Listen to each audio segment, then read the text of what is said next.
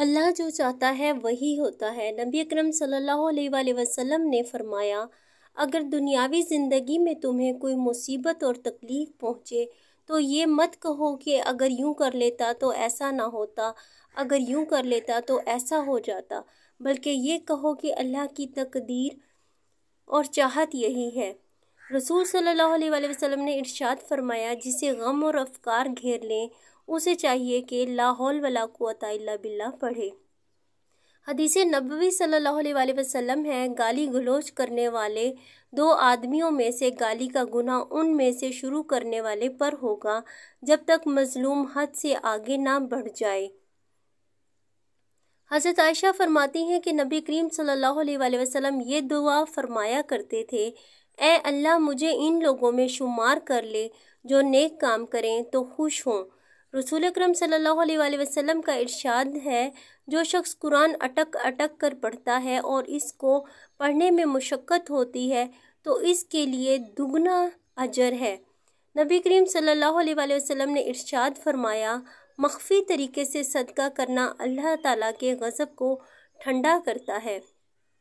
रसूल सल्लल्लाहु अलैहि वसल्लम ने इरशाद फरमाया, अल्लाह ताला सदक़े की वजह से सत्तर बीमारियों को दूर फरमा देता है।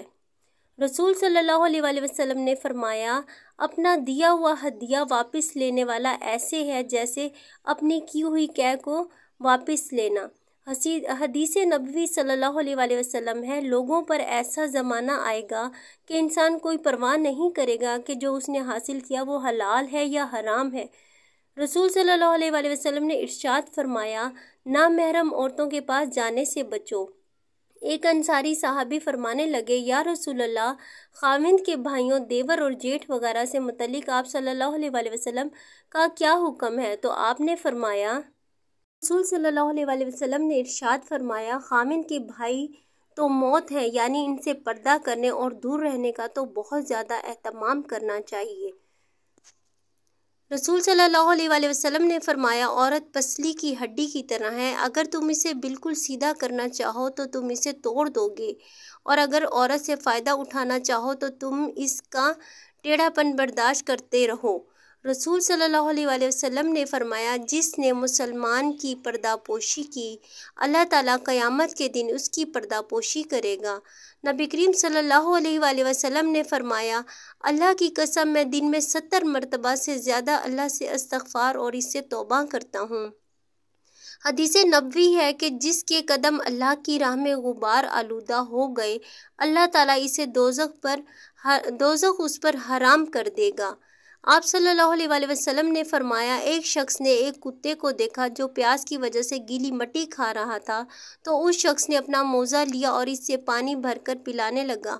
अल्लाह ने इस शख्स के इस काम को इस कदर पसंद कर दिया कि उसे जन्नत में दाखिल कर दिया। आप सल्लल्लाहु अलैहि वसल्लम ने फरमाया तुमसे अगलों ने कब्रों को सजदा गाह बना लिया था। खबरदार, तुम कब्रों को सजदा गाह ना बनाना, मैं इससे तुम्हें मना करता हूँ। आप सल्लल्लाहु अलैहि वसल्लम ने एक और जगह पर इरशाद फरमाया, जो शख्स अल्लाह और आखरत पर ईमान रखता हो, इस पर लाजिम है कि वो अपने पड़ोसी को कभी भी दुख और तकलीफ़ ना दे। आप सल्लल्लाहु अलैहि वसल्लम ने एक और जगह पर इरशाद फरमाया अल्लाह की कसम, दुनिया की नस्बत बामुकाबला आखरत के सिर्फ़ ऐसी है जैसे तुम में से कोई शख्स अपनी उंगली दरिया में डाले, फिर देखे कितना पानी लेकर वापस आती है। इस पानी को जो नस्बत दरिया से है, वो नस्बत दुनिया को आखरत से है। नबी करीम सल्लल्लाहु अलैहि वसल्लम ने फरमाया, बसा औकात आदमी लोगों को हंसाने की नीयत से कोई लोग बात कह देता है, वो उसकी वजह से इतना जहन्नुम के नीचे चला जाता है जितना ज़मीन और आसमान के दरमियान फासला है। आप सल्लल्लाहु अलैहि वसल्लम का एक और जगह पर इरशाद है।